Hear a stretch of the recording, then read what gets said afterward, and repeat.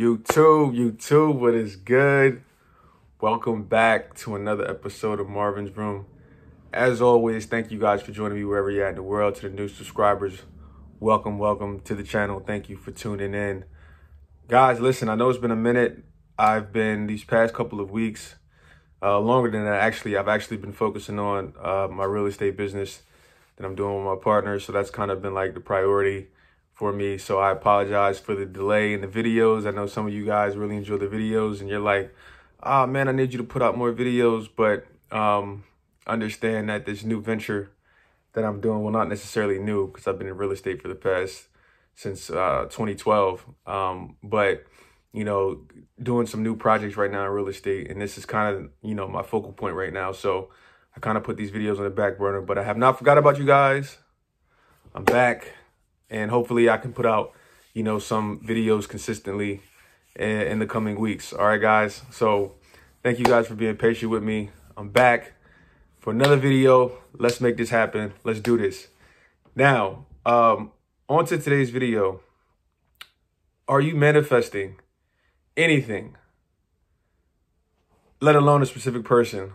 Are you doing it from love or are you doing it for love? Because there's a big, big difference. And I'm seeing and still working with people because I'm still working with people, you know, one on one. So if you guys want to work one on one with me, you know, you most definitely can. My contact uh, details are always in the description below. You know, so something I realized with a lot of people is a lot of you guys are manifesting for love. You're not manifesting from a place of love. And what I mean by that is, is you're doing something because you're trying to get. You're doing uh, techniques or you're doing whatever it is, whatever manifestation, you're watching videos or whatever the case may be, because you still don't understand that you already are. What I mean by you already are, I mean that you are love. You don't know that yet. You don't feel that yet. So what you're trying to do is you're trying to manifest things to give you um which the word I'm looking for. You're trying to manifest things to give you that security, you know, but you don't need to do those things in order to feel secure. You have to already know and be secure in yourself and who you are and in your love for those things to show up.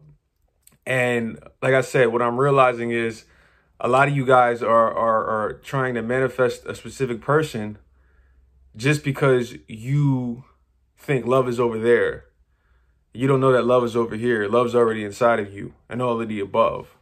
You know what I'm saying? So when you manifest from a position of you want or you're doing it for love, you're manifesting from a place of lack.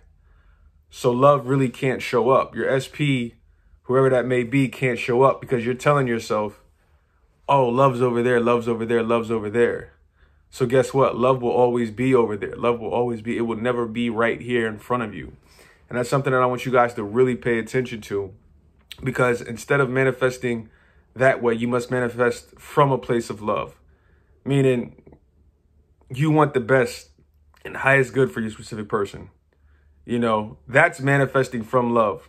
That's real unconditional love for better or for worse, whatever is good for both parties, whatever is good for your specific person.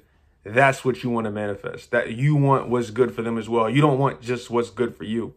And a lot of you guys, I, I, I see and know you have selfish desires. You're, you're the only reason that you want to manifest your SP back is for selfish reasons. The only reason you're doing these techniques, you know, of living in the end, scripting, whatever, whatever, is for selfish reasons. And you guys have to understand until you get rid of that, you're, you're most likely not going to get what you want. And this is no different than people who, you know, go out and do certain things. Like, for instance, there's people in this world who have kids. They have children because they're trying to fill a void. They have kids because they're unhappy and they think having a child or having multiple children will make them happy because they're trying to fill a void and they don't realize nothing can fill that void except their own self-love, their own self-worth. So what ends up happening is they go out and they have kids, but then even after they have the kids, they realize, oh man, I'm still not happy. I'm still, I still feel depressed. I still feel unfulfilled. Why is that? Because they're trying to still use that as an excuse to get love. You cannot manifest that way because you will not be happy when you get what you receive, even though you think you will be happy. I'm telling you right now, most likely nine times out of 10, you will not be happy. And people do this with, whether it's with kids, people do this in relationships specifically.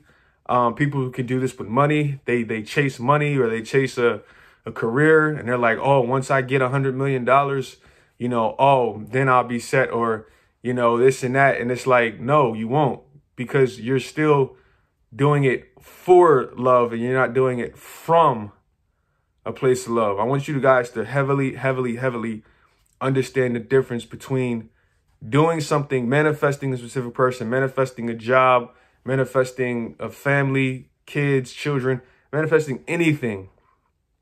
What are your motives? Are you doing it for selfish reasons?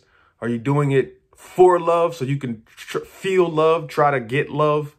Or are you doing it from love, from a place of wholeness, from a place of unconditional, you know, well-being, etc., etc. All right, guys. I want you to think about this lesson today because this is a big one. And I'm seeing a lot, a lot, a lot of people doing it.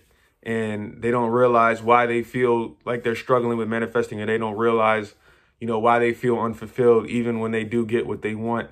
And I'm telling you guys, this is it. It's because you're manifesting for the wrong reasons. You're manifesting for love instead of from love. All right, guys, it's been another episode of Marvin's Room. Thank you guys, as always, for tuning in. And I will see you guys, as always, next time in the next YouTube.